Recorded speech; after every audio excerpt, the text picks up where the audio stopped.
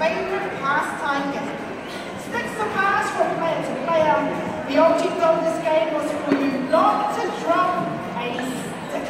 It is very, very difficult. It will test things like hand-to-eye coordination, peripheral vision, our